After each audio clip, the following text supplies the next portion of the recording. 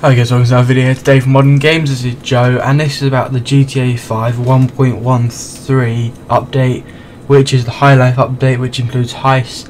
Now, it is rumoured that it will be coming April the 22nd, which is a Tuesday, which Rockstar are notorious for bringing DLC on Tuesdays. Now, this obviously should bring the cars, the DLCs, things like that, make people able to buy two properties, also some new clothing new cost, new like makeup stuff like that, haircuts, things like that, some new missions as well. Now this is only rumoured, but it would be brilliant if it does. There are some other YouTubers who have said this date as well, and they're claiming they're 99% confident and certain that it will be coming April the 22nd. So hopefully this will.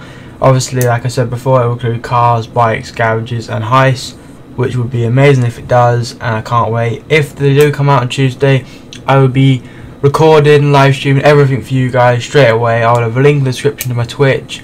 I'll do a video. Every video I put, I'll put a link in the description to my Twitch. I'll get you guys to come and join me. It'll be a beast day. So guys, without further ado, please comment, like and subscribe and I'll see you next time.